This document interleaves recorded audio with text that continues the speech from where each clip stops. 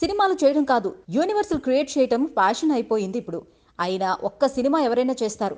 కానీ universe create చేసిన వాళ్ళకే ఓ రేంజ్ ఉంటుంది అంటున్నారు కొందరు దర్శకులు. కాకపోతే ఆ యూనివర్స్ క్రియేట్ చేయడం తమిళం కన్నడలో ఉన్నారు కానీ మన దగ్గర లేరు. ఆ లోటు తీర్చడానికి నేనున్నానంటున్నారు సుజిత్. ఇందుకే ఈయన క్రియేట్ చేస్తున్న యూనివర్స్ ఏంటి? సినిమాలు కాదు ఇప్పుడంతా యూనివర్స్ల హడావిడి నడుస్తుంది. ఒక కథతోటి మరో కథకు లింక్ పెడుతూ సినిమాలు చేస్తున్నారు దర్శకులు.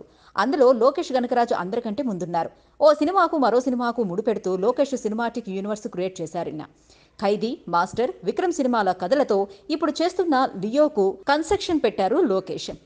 ప్రశాంత్ నీల్ సైతం ఇదే చేస్తున్నారు. ఈయన కూడా కేజీఎఫ్ సిరీస్ తోటి మిగిలిన కథలను కనెక్ట్ చేస్తున్నారు. తాజాగా విడుదలైన సలార్ టీజర్లోనూ కేజీఎఫ్ కనెక్షన్ ఉంది. పైగా కేజీఎఫ్ చాప్టర్ టూలో రాకీ భాయ్ చనిపోయే టైంకే సలార్ టీజర్ విడుదల చేశారు ప్రశాంత్. దీని తర్వాత కథల్లో కూడా కంటిన్యూ చేయాలని చూస్తున్నారు ప్రశాంత్ నీల్ తెలుగులో ఈ ట్రెండ్కి తెరతీస్తున్నారు సుజిత్. ప్రస్తుతం ఈయన తెరకెక్కిస్తున్న ఓజీలో సాహో రిఫరెన్స్ ఉంటాయని తెలుస్తోంది. సాహో ఫ్లాప్ అయినా వాజీ సిటీ పాపులర్ అయింది. ఇప్పుడు ఇదే సిటీ పేరు ఓచీ సెట్స్లోనూ కనిపిస్తుంది. దీన్ని బట్టి ఓచీ కథకు సాహో సాహోతోటి సంబంధం ఉండొచ్చు. ఓచీని రెండు భాగాలుగా తెరకెక్కిస్తున్నారు సుజిత్. పవన్ పదిహేను రోజులు డేట్స్ ఇస్తే పార్ట్ వన్ షూటింగ్ అయిపోతుంది. మొత్తానికి చూడాలిక సుజిత్ యూనివర్స్ ఎలా ఉండబోతుందో. Please subscribe Pragna media please like share subscribe and